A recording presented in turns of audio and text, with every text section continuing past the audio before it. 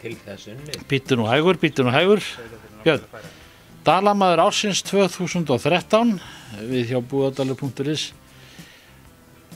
þrjóskumst til þess að viðhalda þessum sið og finna merka menn úr samfélaginu sem að hafa markað sín spór í, í, í mannlífinu og, og þessi byggar er þinn. Þú ert Dalamaður ársins 2013.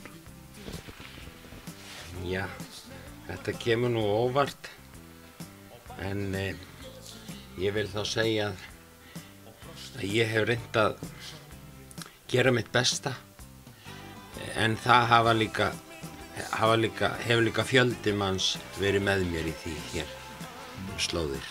Takk kærlega fyrir, kærlega. Þú gafst út ljóðabók á árinu, við vitum það að þú átt, eins og maður segir, haug af ljóðum. Þú lögumar á þessu, heldur þessu til haga? Já, ég geri það. Já. Það er, það er til. Allt frá fyrstu vísum. Það má segja það, alveg síðan ég var, var, var ungur drengur, já.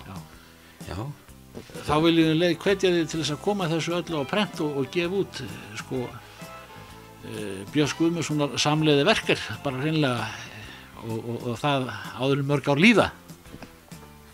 já þakka þér fyrir góð orð. Nú aldrei að vita nema maður friskist við eða hressist við Já. að heyra svona orð við dittnar. Já, Gjörðu svo vel. takk. Það er út, ég var nú fórgöngum að stopna tónlistaskólan og, um, og fór hér um, um héraðið og fór hér um héraðið og, og uh, safnaði peningum með Guðmundi vinni mínum eh, á Hamrendum Já. í middölum sem var minn góður okkar eh, okkar söngfólks og og og, og, og, og, og e, bóðinn og búinn. Var lengi söngstjóri hérna hjá okkur og góður vinnur og við fórum bara um alla síslu og söfnuðum og hérna og hérna var, svo var stopnaður tónlistaskólinn og Stofnaði 1976. 76 já já og um, en svo var ég já heldur, heldur óanaður þegar þetta einhvern veginn rann allt saman ég, ég vildi að hann hefði fengið að standa sér áfram mm. tónlistaskólinn það er mikið breið en þetta var bara held ég fyrir ekki í mér Já, þú ert verið heldur betur ljóðlistina og hljómlistina. Það væri nú fábreytilegt líf ef að hvort væri til staðar. Engin reyfiði við orðunum og reynda að setja þau saman í, í, í ljóð og engin, engin væri, ekkert væri nú lífið að væri ekki verið að búa til einhver tónverk og, og, og, og syngja og, og spila. já já já. Það væri ákvæmlega tómlegt. Og maður bara finnur það hvað, hvað maður eh, gefur mikið ef maður, ef maður ferð eins og hér á Dalarheimilið og, og gerir eitthvað þar fyrir fólkið og, og eldri borgarana. Hvað þeir, þeir eru þakkláttir fyrir.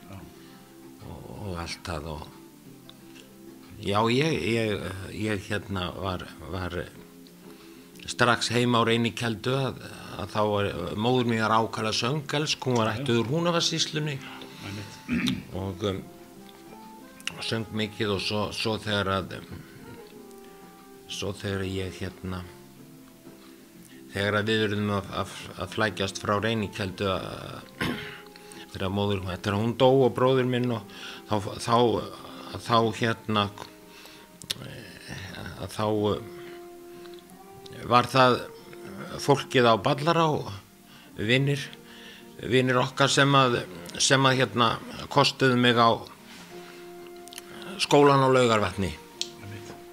Það er svona það er svona og, og ég læta alltaf fylgja með að, að, að þau kiftu ný föt á mig til þess að hafa, fara með austur og þar byrja svona þetta hjá mér raunverulega allt því að þar var hérna hérna vinnur okkar kennari á laugarvatni Þórður Kristleifsson.